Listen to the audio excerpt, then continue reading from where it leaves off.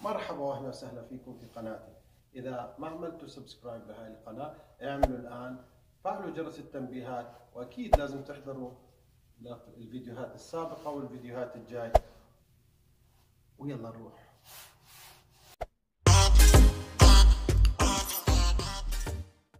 Hello everybody, uh, most of you know that uh, I do uh, most of my videos in, in Arabic language but I decided to speak today with you about this very important subject in English. Uh, I am a proud uh, Palestinian, Jordanian, Canadian, uh, live here in Canada.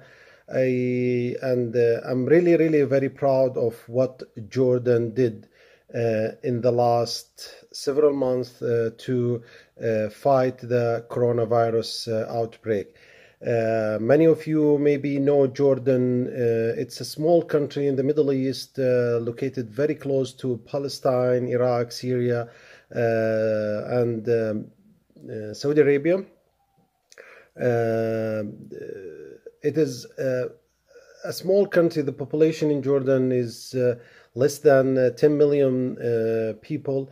Uh, however, recently Jordan had been actively working with many countries around the world to promote uh, peace uh, in the Middle East and try to make uh, the region more sustainable. Jordan uh, did a great job uh, with the outbreak of coronavirus. Uh, Jordan was one of the first countries to send uh, an evacuation air, uh, airplane uh, to Wuhan to bring back all the students who live in that city. they also evacuated the students and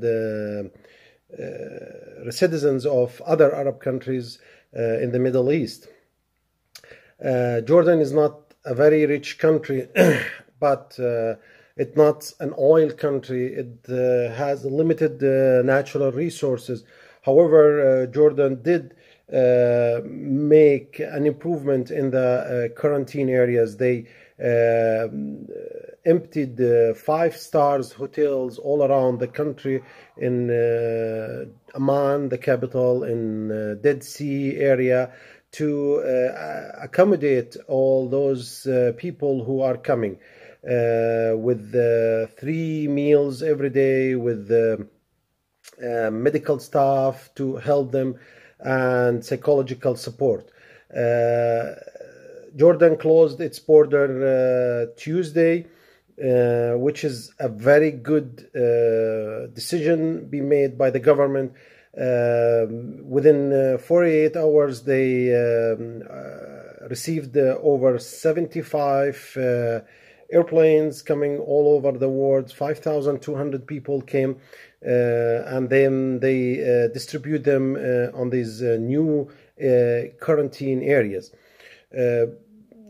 Jordan also decided to shut down all the country uh, stop people from traveling from one place to another, from one area to another. So it is now in shutdown, the same as uh, what happened in in uh, in Wuhan itself.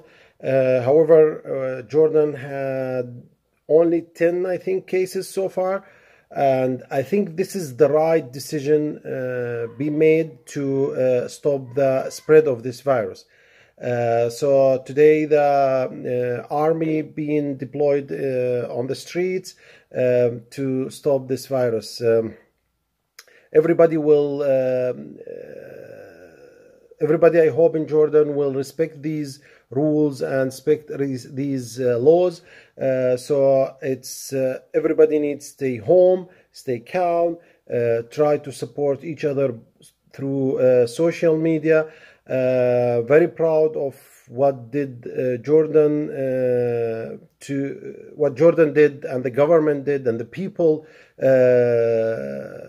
still doing to uh, stop the spread of this virus.